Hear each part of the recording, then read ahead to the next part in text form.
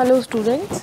Uh, today I'll be taking up the lecture on value added fruits and vegetable based products. So in that I'll be talking about jams first. So before moving on to jams, uh, let me tell you something about food safety and standards, food product standards and food additives regulation 2011. So it has got three chapters. Chapter 1 is general and chapter 2 is important for us today uh, because it talks about the food products standards in that 2.3 number is for fruit and vegetable products and subsequently you will see that 2.3.1 2.3.5 say 2.3.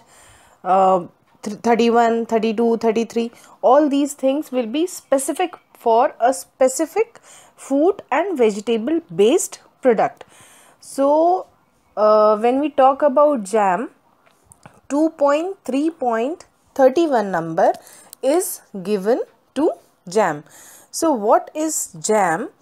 It is basically prepared from sound ripe fruits.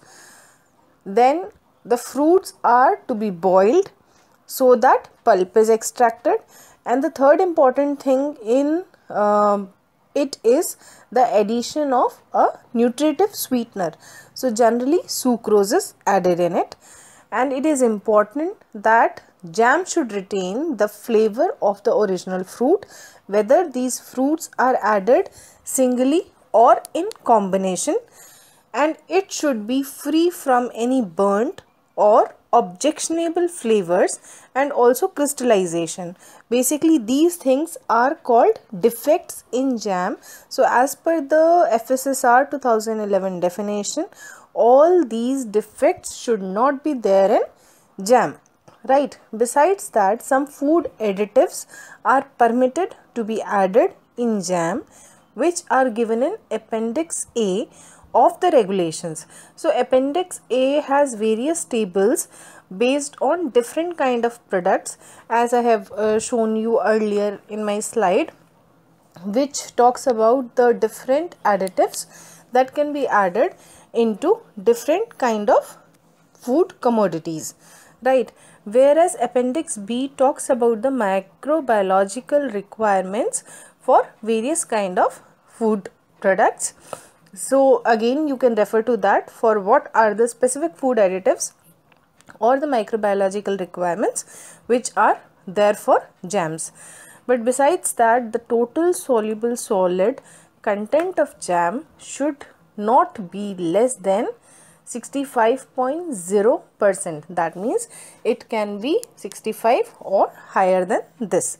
Besides this there is one more requirement for uh, given under fssr that the fruit content should not be less than 45% in case of most of the fruits but for strawberry or raspberry it should not be less than 25% of the fruit.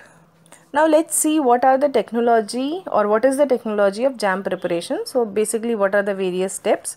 So first is you have to select fruit okay. Then you have to prepare the fruit so once selection and preparation is done, then we have to go for addition of sugar. Once sugar is added, after that we have to add acid, color, flavor. Then cooking has to be done. Then you will have to determine the end point, packaging and storage of the product is to be done. So I will be taking up each of this uh, topics in detail. So first is selection of fruit.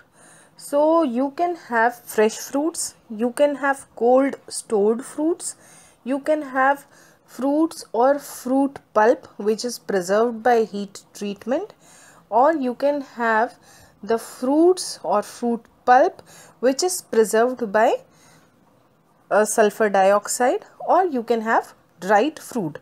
So see if you have fresh fruit it is actually the best for preparation of jam but again in case of fresh fruits you should have a mixture of underripe and ripe fruits.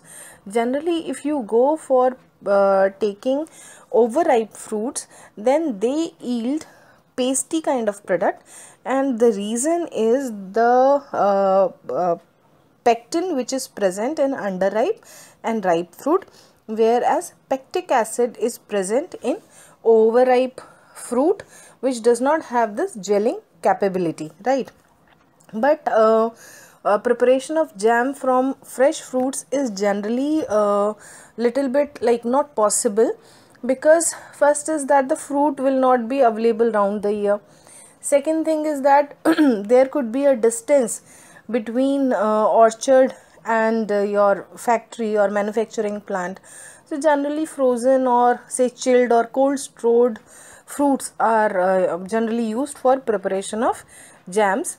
But again these also yield a good product which has flavor and aroma which is uh, like same as that of fresh fruit. So they generally yield a good kind of product uh, but again uh, some kind of fruits like plums or cherries uh, they cannot be kept under cold storage conditions because they discolor so to prevent that they are generally frozen with uh, sugar or sugar syrup so as to prevent the browning that generally takes place in such kind of fruits.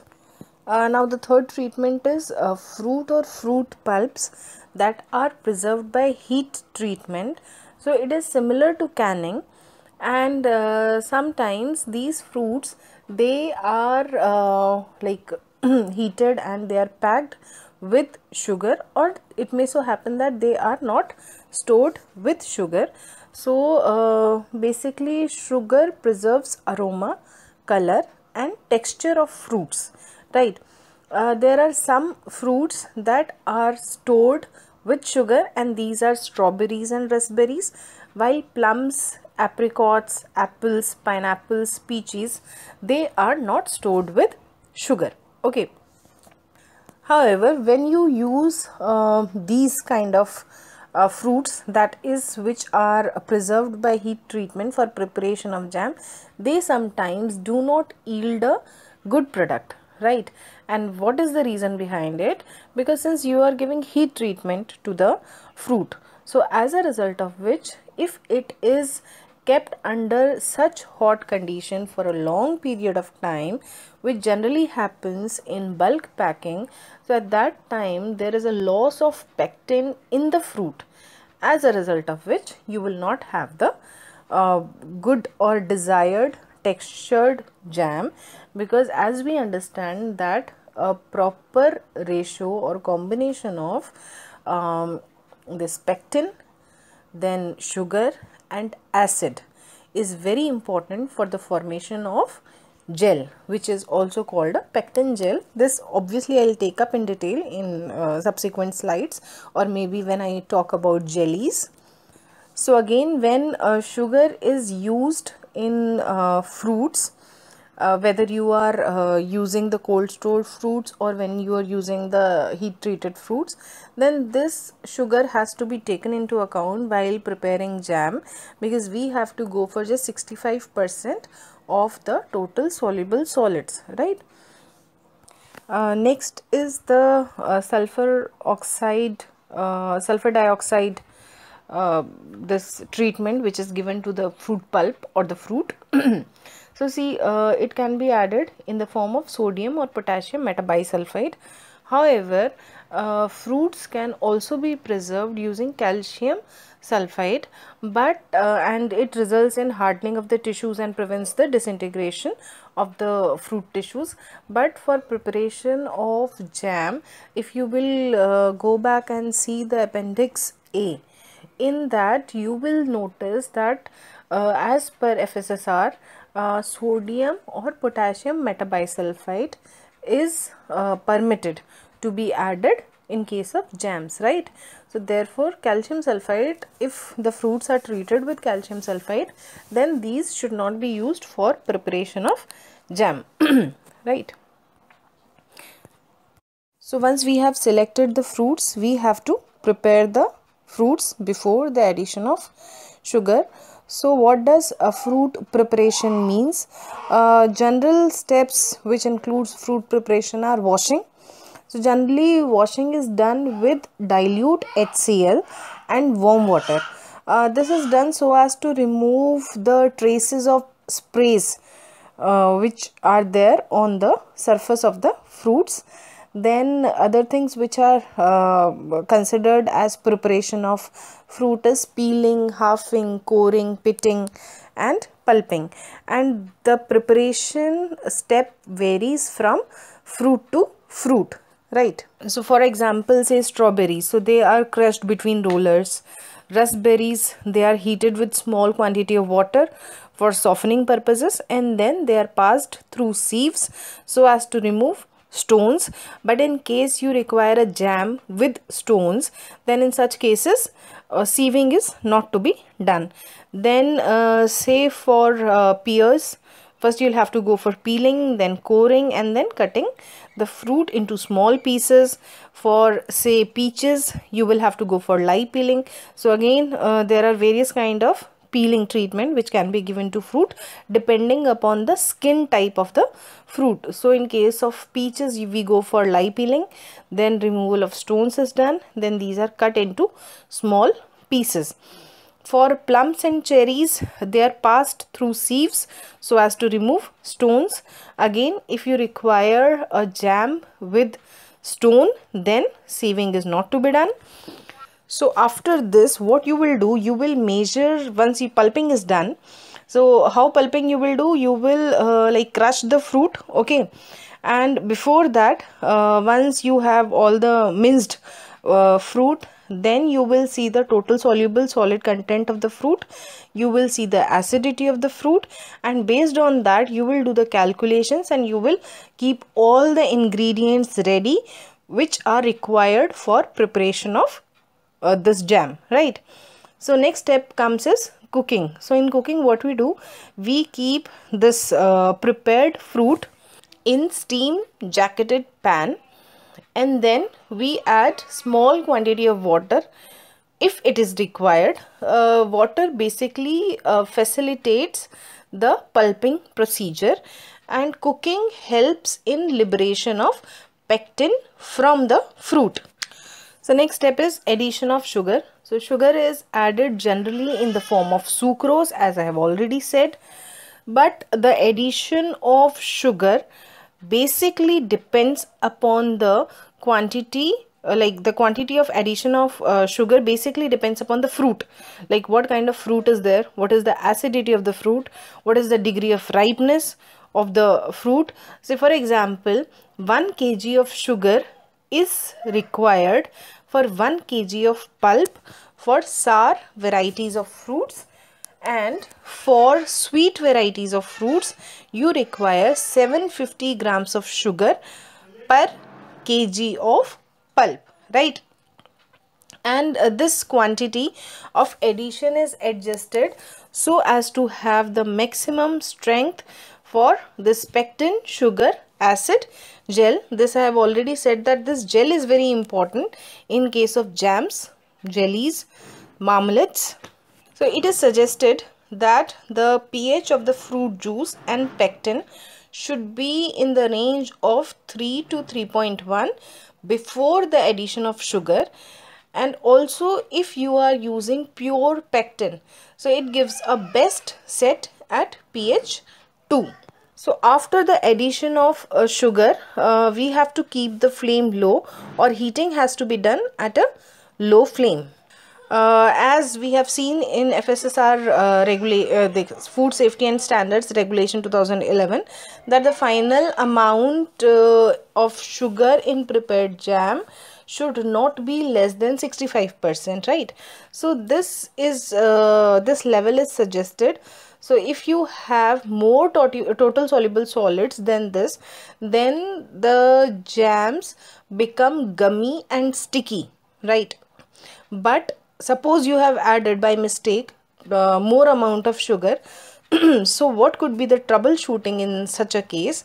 You can have you can add more amount of acid or pectin or both for counteracting this excess of sugar which has been added but suppose the total soluble solids are low then in such case pre-coagulation of jam takes place.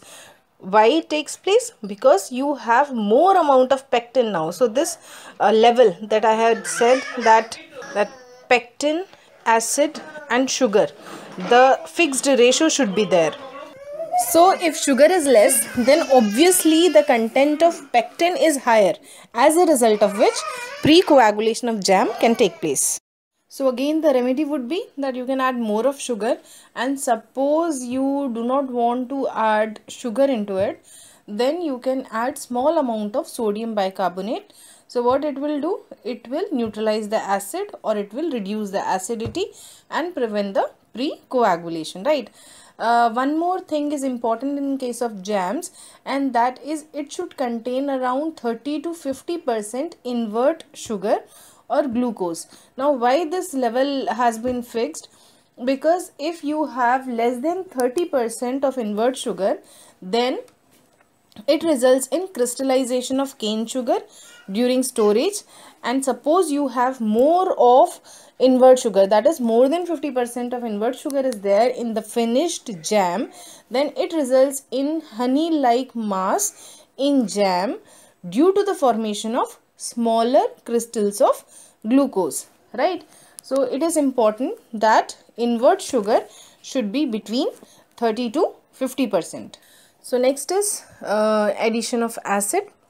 So uh, like before that once you have added sugar so the cooking process has to continue right? So while cooking only you have to add acid. Again as i am repeatedly saying that the right combination of pectin sugar and acid will only result in perfect setting of jam. Therefore addition of acid is important.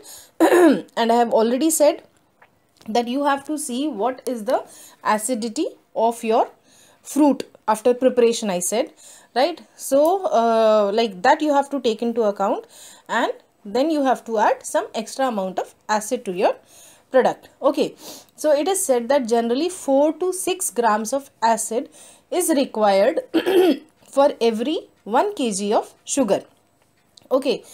And uh, generally it is recommended that acid is to be added once your pulp is slightly concentrated which has a degree Brix of around 50 to 55 degree Brix and once the acid has been added the jam should be quickly prepared till the end point that is 65 percent total soluble solids right because if you are not uh, uh, quickly preparing then it may so happen that some flavorous compounds may evaporate when you are doing the cooking process or heating process. Right. Then after that the next step is addition of color so you can uh, add the permitted edible colors which are given by food safety and standards regulation 2011 and if required these colors can be dissolved in water and then they can be added. Then you can add flavor which is again optional. Then last thing that you can add is preservative. So uh, as per FSSR 2011 the permitted preservative in jam is 40 ppm sulfur dioxide or 200 ppm benzoic acid or 500 ppm sorbic acid and its sodium or potassium salt which is calculated as sorbic acid right? The uh, next step is determination of endpoint. So as i am repeatedly saying that the total soluble solids should be 65 percent. So it should not be less than 65 percent. If it is more it is okay. But again i have said that if it is too high then it may result in uh, your gummy uh, textured jam which is undesirable. So uh, you should keep it to 65 percent total soluble solids right? So again total soluble solids can be uh, determined using refractometer. Then next thing that can tell you about the endpoint is the temperature. So for that you need thermometer. So 105 degrees celsius temperature is generally uh, recommended that the, if the temperature reaches to 105 degrees celsius it means that your jam is prepared. So again there is one uh, thumb rule that suppose you are pre preparing jam at uh, different altitude than the normal one. So the boiling point of water will change at say higher altitude. So uh, it is said that the end point of jam is around 9 degree Fahrenheit higher than the boiling point of water at a particular altitude which determines the boiling point of water. So normally it is 100 degrees Celsius. So when you go for say uh, 105 degrees Celsius, so you just back calculate and you will see that it is 9 degree Fahrenheit higher than the boiling point of water in degree Fahrenheit, right? Then next test that is done is a sheet test using ladle. So you will see that towards the endpoint or when the endpoint is reached, jam falls like a sheet. Then the weight. So it is said that around uh, like the amount of jam is around 1.5 times that of sugar. So next step is packaging. Again uh, food standards uh, like food safety and standards packaging and labeling regulations 2011 the chapter 2.3 of this uh, regulation which are given at uh, page number 3. So they talk about the packaging of jams, jellies, marmalades, preserves. So it is said that it has to be done in new cans, clean jars, new canisters, bottles, chinaware, jars, then aluminium containers and these should be used and they should be or they shall be securely sealed. So once your jam is prepared, it has to be cooled down to say 93.3 degree Celsius or 200 degree Fahrenheit immediately once the end point is reached. So once this is done, it has to be filled in the wide mouthed bottle or jars okay as we see in our uh, households so and then loosely capping of these bottles is to be done and once the jam cools down perfectly then the sealing has to be made airtight. And if you make the sealing airtight when the jam is hot then in such conditions condensation will take place uh, above the like your jam content. Okay? And these could be the source of the microbial contamination and your fermentation. All such things can take place in jam resulting in defects in jam. There is one more thing uh, that is a precaution should be taken while filling uh, jams in the uh, jars or containers uh, and there should not be any air bubble incorporated while filling the jam. Then next or the last step is storage.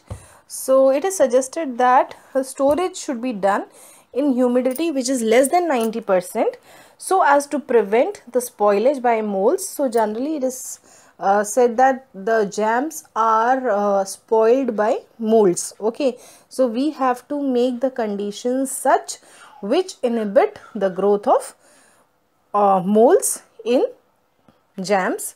Uh, however, yeast cannot thrive on the jelly consistency. Then last topic in jams is the defects in jam. So I'll just tell you what are the defects. First is crystallization, then sticky or gummy jam, then is premature setting, then surface graining and shrinkage, then last is microbial spoilage. So first three that is crystallization, sticky or gummy jam and premature setting in jam. This I have discussed while uh, talking about the steps involved in preparation of jam. so next is surface graining and shrinkage. So uh, the reason for this kind of defect is evaporation of moisture during storage. So again the uh, troubleshooting could be or uh, how we can prevent it rather. Uh, we have to store jams in a cool place. Okay so by this we can prevent the evaporation of moisture during storage then the last defect that could uh, be found in jams is the microbial spoilage.